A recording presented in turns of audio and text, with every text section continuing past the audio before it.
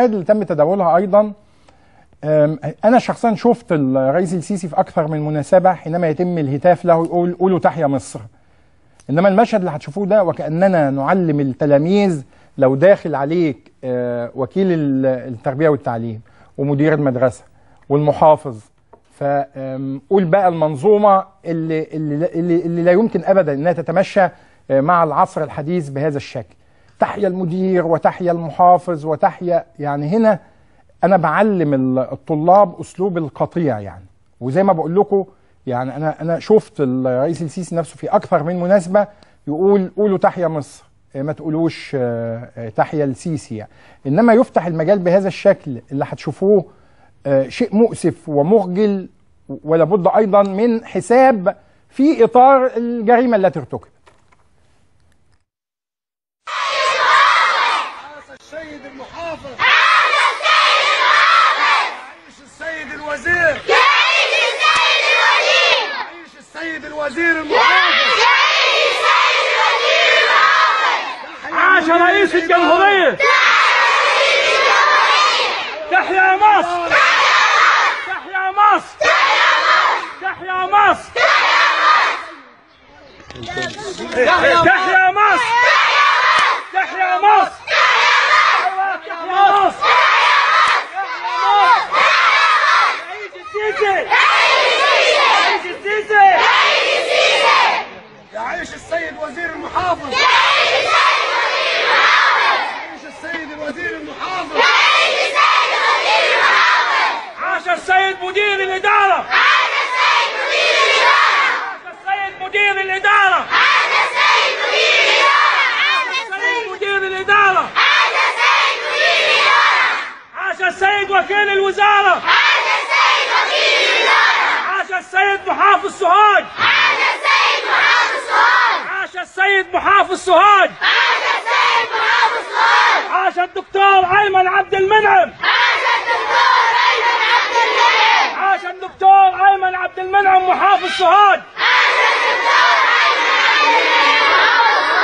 تحيا مصر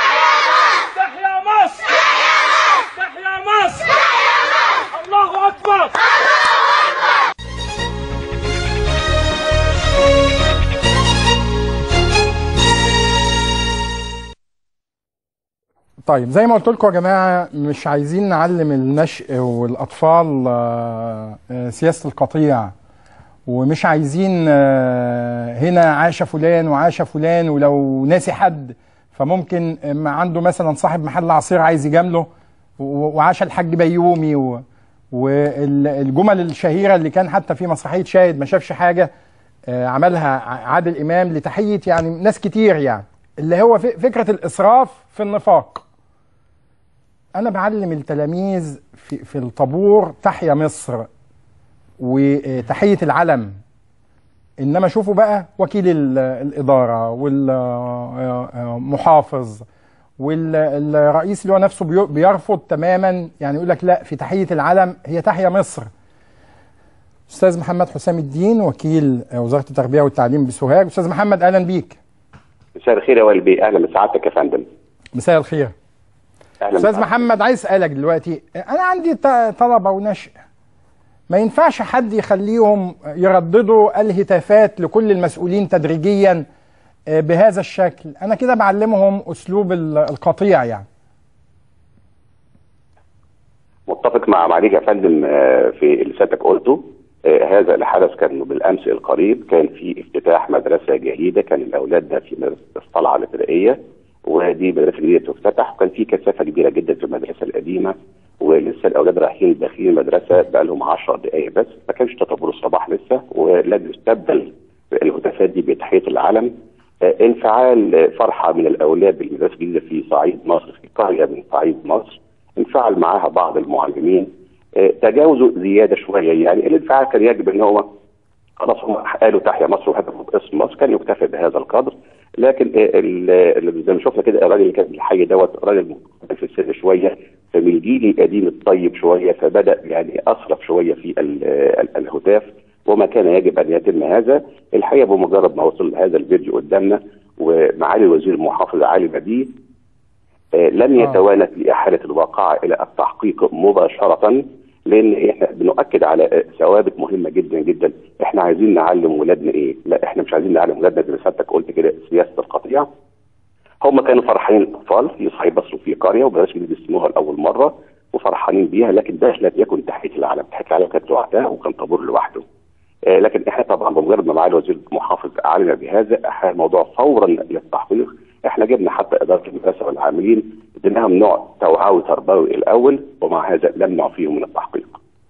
طيب آه، خليني الأستاذ أحمد نشأت عضو مجلس النواب عن الدائرة عايز يعمل عايز يعلق. أستاذ أحمد أهلا بيك. أستاذ أحمد. أستاذ أحمد سامعني؟ طيب آه، زي ما قلت لكم يا جماعة يعني ما هي مشاهد بسيطة لكن آه، لا بتكون محفورة في أذهان ال- النشء وأنت هنا بتجبرهم على الهتاف اللي أنت هتقوله. عاش فلان عاش فلان عاش فلان خلاص. أنا بقول تحيا مصر. وبحيي العلم في طابور الصباح. مش هحيي بقى مدير المدرسة ووكيل الإدارة والمحافظ و آه، يعني تدريجيا بقى وندخل شوية كمان. كل واحد بقى يزود يعني ويلا ندخل على رئيس الوزراء. وزي ما قلت لكم يعني ده خطأ جسيم يعلم الناس آه، سياسة القطيع أو الهتاف بالتعليمات والأوامر أستاذ أحمد نشأت أهلا بيك. أهلا بك يا وائل بيه. استفزك الفيديو ولا تأيده؟ لا طبعا ضد هذا الفيديو لكن ال- ال- ال- احقاقا للحق الفيديو ده ليه خلفية يا وائل بيه لابد برضه من توضيحها. طبعا أنا ضد تماما الهتاف بهذا الشكل الجماعي مع طلاب صغار السن وتعويدهم زي ما سيادتك قلت على سياسه القطيع لكن المدرسة دي ليها ظروف خاصة جدا. المدرسة دي أول سنة تشتغل السنة دي. المدرسة دي في قرية كانت محرومة من التعليم الابتدائي والتعليم الإعدادي ما كانش فيها مدرسة.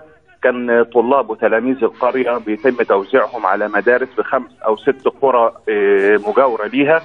كان في نوع من التشتيت للتلامذة. المدرسة دي تم تجهيزها بالفعل السنة دي وإعدادها للعمل ولكن فوجئنا قبل بدء العام الدراسي ب 48 ساعة بخبر أو قرار بعدم تشغيلها السنة دي. ليه المدرسة كان فيها بعض المعوقات مثل مثلا عدم توافر الديسكات أو التخت اللي بيقعدوا عليها التلامذة؟ ما فيش عداد كهرباء في المدرسة تم تم. ماشي كل ده كل ده نوجه الشكر. للناس. من لا أنا جاي لسيادتك إنما آه، مش بترديد لا الهتافات. الفيديو ده الفيديو ده طبعا مش صح. الفيديو ده مش صح اللي حصل فيه آه. مش صح طبعا وإحنا ضد كده وما نقبلش كده. تمام؟ لكن هو هو فيديو عفوي غير مرتب. آه، أنا أنا عايش الحالة النفسية مع أهالي القرية دي قرية دمنه. تمام؟ آه، فعلا هم فرحوا جدا لما تدخل السيد المحافظ فور علمه. لا إن المدرسة لازم تشتغل وباتصالات وبسرعة تم تجهيز المدرسة طيب. وتم افتتاحها إعدادي وابتدائي. هي طبعا بلفت بس- ضد هذا ضد هذا المنظر. طيب بشكرك أستاذ أحمد.